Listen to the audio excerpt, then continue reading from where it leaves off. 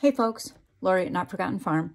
I'm here doing my little uh, tutorial videos, short and short and sweet, or at least I'm trying to keep it that way, of my um, real primitive embroidery stitches for you. So number one, we did video number one is the split stitch. Video number two is the satin stitch. This is video number three, and this is the stem stitch.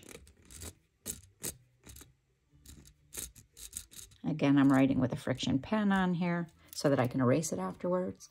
This is Osnaburg cloth. You can get it at Walmart. You can get it at uh, Joann's. You can get it at, I think Hobby Lobby has it. Um, I like to dye it afterwards. Or actually, I'll dye, I'll stain it before and after. Um, that's what it looks like after, and I love that. Coffee, tea, a little bit of black walnut. All right, so stem stitch, I'm going to actually use all six strands of DMC floss right now for this so that you can see how nice a stem stitch looks. Um, and I, I really want you to see it. So again, I'm using my two inch embroidery needle, which is bent because it's used to heck. Um, I'm going to show you how I thread my needle. And that is by taking my little, I don't know if you could see the eye of that needle or not, tiny little eye, put it directly over the ends of my floss, work it back and forth, and hopefully get them all. Patience is a virtue, right? I did it. I think. Yeah, I did it. Okay. So all six strands of floss on there. Um, I'm not going to tie it on the end of the needle like I did in video number one and two because I don't want it, it's, I'm using a thicker amount of thread. So, but I am going to wax my thread. I've got a crusty old piece of beeswax here that I've had for a thousand years and I'm going to just run my thread through just like that.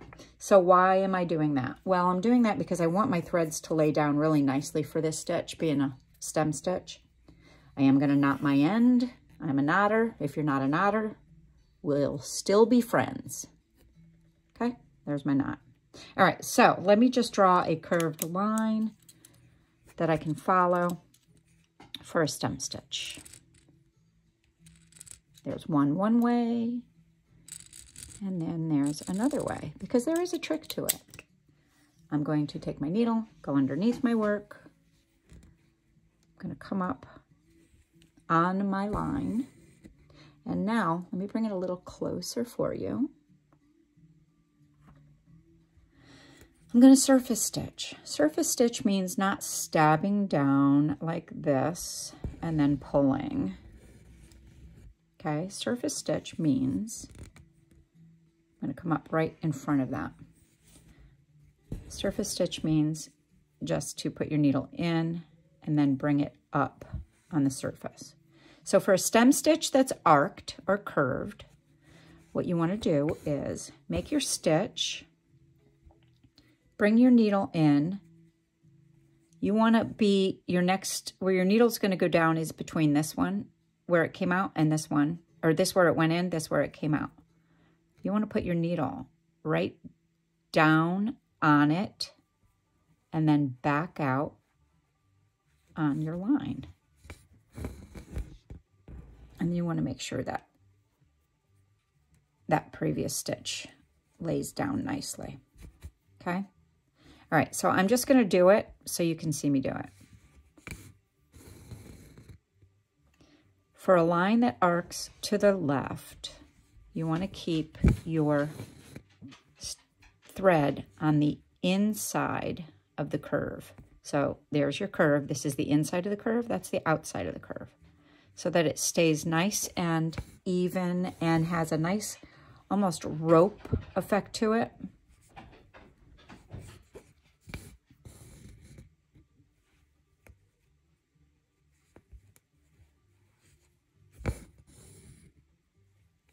You see that okay?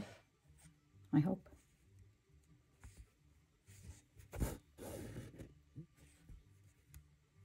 And I will end that. So you can see that it's just like a very, I don't know, they, they just kind of make like a rope I don't know if you can see that good enough. And now I'll go ahead and I'll do it on the other side, the other way. Put my knot on my thread. I'm to bring my needle up. Going to put my first stitch in. Again, I'm going to surface stitch it. And because on the curve on this side, I was on the, or, you know, your left curve, I was on the inside of the curve. So this has to be the inside of the curve this way. So you want this thread on the inside of the curve. So your next one will go here.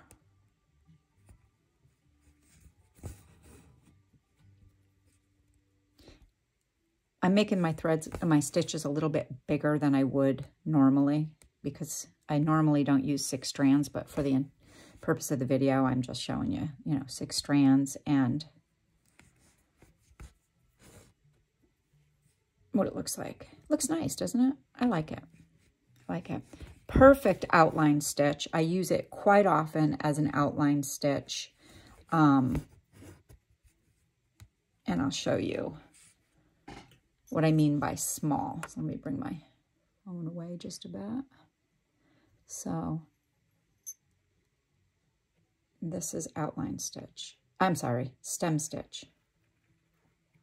I don't actually use the outline stitch, really. And you can look that up because I'm not a fan.